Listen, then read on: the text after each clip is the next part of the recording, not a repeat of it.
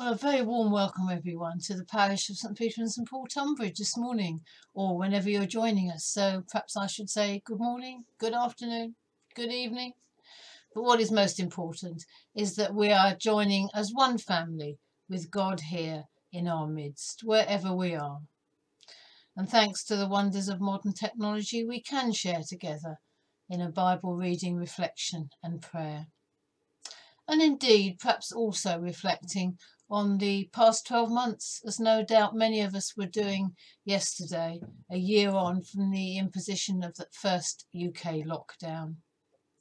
So let's quieten our hearts and minds now, shall we, uh, for an opening prayer. Let us pray. God of love, as we think about all that has changed this year, help us to trust that you are always with us as we remember those who have died, help us to trust that they are at peace with you. As we reach out to others with kindness and care, may hope shine out in every heart and home. Amen. And the collect for this week. Most merciful God, who by the death and resurrection of your Son, Jesus Christ, delivered and saved the world, grant that by faith in him who suffered on the cross, we may triumph in the power of his victory. Through Jesus Christ, your Son, our Lord, who is alive and reigns with us in the unity of the Holy Spirit, one God, now and forever. Amen. So our reading this morning comes from John chapter 12 and I'm beginning to read at verse 1. Six days before the Passover, Jesus arrived at Bethany, where Lazarus lived, whom Jesus had raised from the dead. Here a dinner was given in Jesus' honour. Martha served, while Lazarus was among those reclining at the table with him. Then Mary took about a pint of pure nard, an expensive perfume. She poured it on Jesus' feet and wiped his feet with her hair. And the house was filled with the fragrance of the perfume. But one of the disciples, Judas Iscariot, who was later to betray him, objected. Why wasn't this perfume sold and the money given to the poor? It was worth a year's wages. He did not say this because he cared about the poor, but because he was a thief. As keeper of the money bag, he used to help himself to what was put into it. Leave her alone, Jesus replied. It was intended that she should save this perfume for the day of my burial. You will always have the poor among you, but you will not always have me. Meanwhile, a large crowd of Jews found out that Jesus was there and came, not only because of him, but to see Lazarus, whom he'd raised from the dead. So the chief priests made plans to kill Lazarus as well, for on account of him, many of the Jews were going over to Jesus and putting their faith in him. This is, of course, a very well known reading and a very well known story, and it has parallels in the Synoptic Gospels Matthew, Mark, and Luke. Luke's account, however, is likely to be referring to a different episode earlier in Jesus' ministry. Matthew and Mark appear to be describing the same event as John, although in their accounts it is Jesus' head rather than his feet which is anointed. But as we read John's account, we can sense an increasing tension, movement towards a climax as Jesus is on the final stage of his journey to, Beth- to Jerusalem. And he stopped off in Bethany. In John's Gospel, the public ministry of Jesus begins with a wedding feast in Cana. Now that ministry is coming to an end with another social event, but one with a very different tone.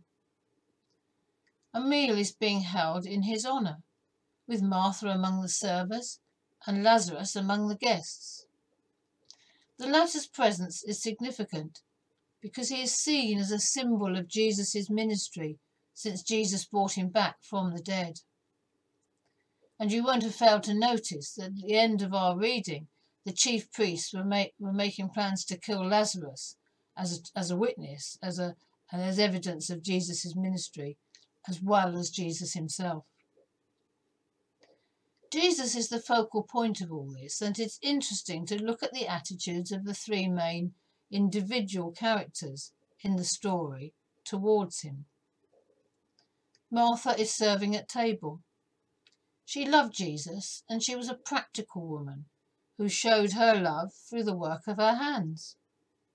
No shame in that, since service in those ways is no less important than a more public ministry.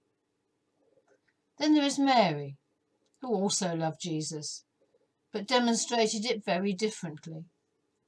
We will come back in a moment to what we can learn from Mary's behaviour. And well, what about Judas? Jesus must have trusted Judas by making keeper of the money purse.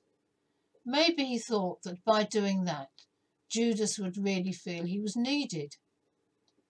But clearly that failed. Judas loved money so much that he became a thief and then a traitor for its sake. But, as we promised just now, let's return to Mary and see what her extraordinary action provides in the way of gu- guidance to us in how we should be serving our Lord. I have six points, but remembering and executing even a few of those would be a good start. 1. We should be humble. Mary's anointing of Jesus' feet was a real demonstration of humble service. Mary is mentioned three times in the Gospel, and each in association with Jesus, and each in association with Jesus' feet. On the other occasions, she fell at Jesus' feet in John chapter 11, and then was sitting listening at Jesus' feet, Luke chapter 10. True service equals wholehearted commitment.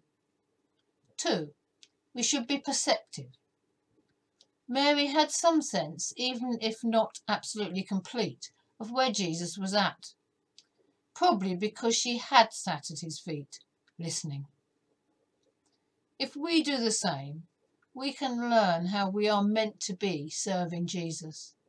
But we do need to listen to him. We need to make time and be still to do just that. Three, we should be timely. Jesus says in our passage, it was intended that she should save this perfume for the day of my burial. But Mary took the opportunity that was given her. At that moment, if she'd waited any longer, that moment would have passed and she would have lost that opportunity. Some things we can do any time, any old time will do. Others we just need to take the chance when it arises. And now is the time to serve Jesus. Four, we should be resilient and perhaps unself conscious. By even letting down her hair in public, Mary was going against convention. But she didn't care. She was driven by her love for Jesus. She even faced criticism, didn't she, from Jesus' own disciples, of whom Judas in this account is the spokesperson. As Christians, we might reasonably expect opposition from the outside world but it can also come from fellow Christians. Jesus recognized Mary's service. He wasn't saying that giving to the poor was unimportant, but that the cross must be central in a disciple's life. Fifth, we should be generous. Mary's gift of nard was extravagant, but Jesus deserves the best we can give. Motivation is key here. We should give out of a genuine love, not for some ego boosting reason. Six, we should be fruitful. And the whole house was filled with the fragrance of the perfume. That simple but sacrificial act of anointing Jesus' feet, a humble act of devotion, spread much further The fragrance was throughout the house. Sincere service to Jesus can touch lives and in ways we will never know. As Paul wrote in the first letter to the Corinthians, Therefore, dear brothers, stand firm, let nothing move you. Always give yourselves fully to the work of the Lord, because you know that your, your labour in the Lord is not in vain. I think that sums up what we've learnt through Mary's actions. Be humble, be perceptive, be timely, be resilient, be generous, and be fruitful. Humble, perceptive, timely, resilient, generous, and fruitful. You never know whose hearts you may touch for the Lord. So, moment's quiet just to reflect before we move into our time of prayer.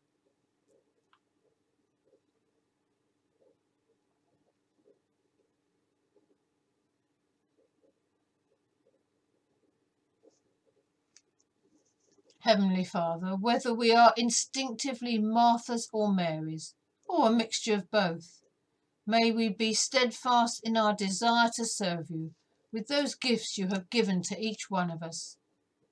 And in the words of the prayer of St. Richard of Chichester, Thanks be to you, our Lord Jesus Christ, for all the benefits which you have given us, for all the pains and insults which you have borne for us. Most merciful Redeemer, friend and brother, may we know you more clearly, love you more dearly, and follow you more nearly, day by day. Amen. And a prayer for our current times. Keep us, good Lord, under the shadow of your mercy in this time of uncertainty and distress. Sustain and support the anxious and fearful, and lift up all who are brought low, that we might rejoice in your comfort, knowing that nothing can separate us from your love in Jesus Christ our Lord. Amen. And so let's all join as one, albeit physically separated, in the words that Jesus taught us, using the contemporary version. Our Father in heaven, hallowed be your name. Your kingdom come, your will be done, on earth as in heaven. Give us today our daily bread. Forgive us our sins, as we forgive those who sin against us. Lead us not into temptation, but deliver us from evil. For the kingdom, the power, and the glory are yours, now and forever. Amen. Well, thank you for joining us in worship today. It's been a pleasure to be able to share with you. So do keep an eye on our website as things are changing and we are now beginning to open up the church as from Easter. So keep a watch there um, and keep up to speed um, as you need to. And please be in touch with us if we can help or support you in any way. So let's close with a blessing. Christ crucified, draw us to himself, to find in him a sure ground for faith, a firm support for hope, and the assurance of sins forgiven. And the blessing of God Almighty, the Father, the Son, and the Holy Spirit be with us all, those we love and those we pray for, now and always. Amen.